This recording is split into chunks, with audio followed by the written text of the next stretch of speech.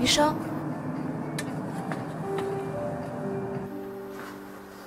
余生，余生，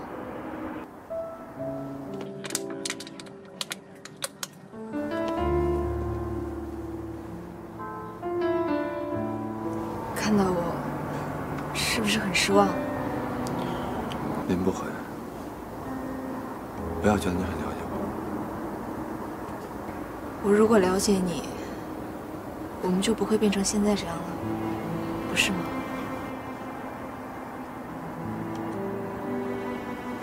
芷柔已经消失快三个月了，你说她现在会在哪儿呢？大概和你一样，在江边吹风吧。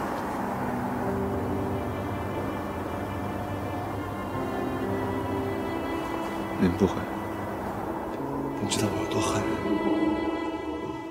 我知道，你不知道，你什么都不知道。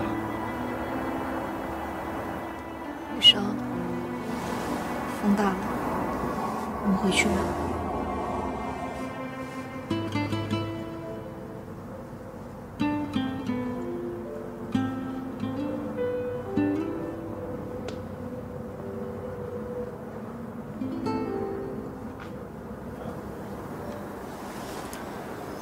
别误会，刚刚我只是把你当成了芷柔而已。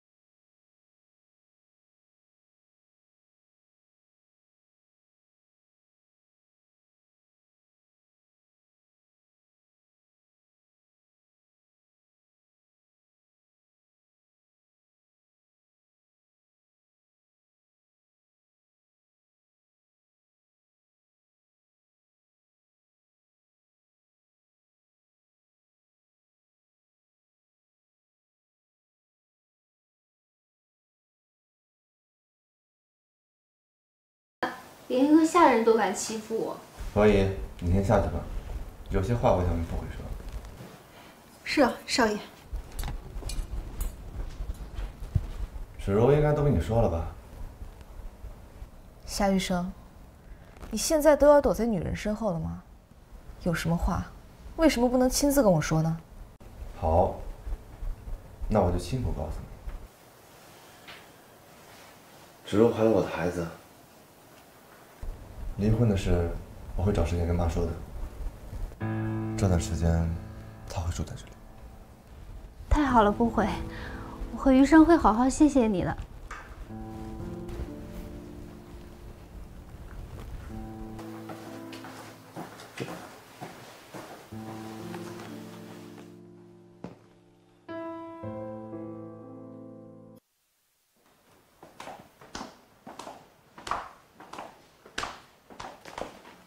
少爷，太太一晚上都没回来。不悔昨天一晚上都没回来。是的，少爷，而且电话也打不通。哎，医生，你都要跟他离婚了，就不要太限制他自由了吧？芷柔，我只是担心他会出事，你放心，我对他绝对不会有其他感情。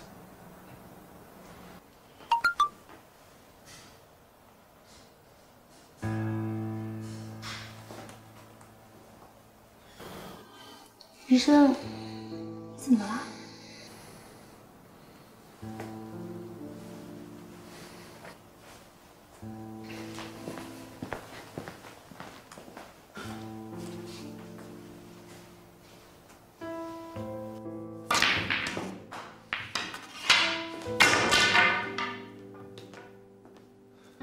余生，你找我？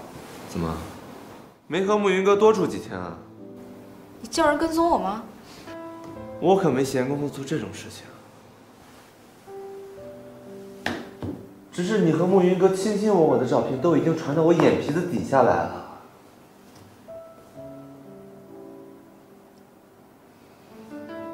我昨天确实和云哥在一起，但那都是有原因的。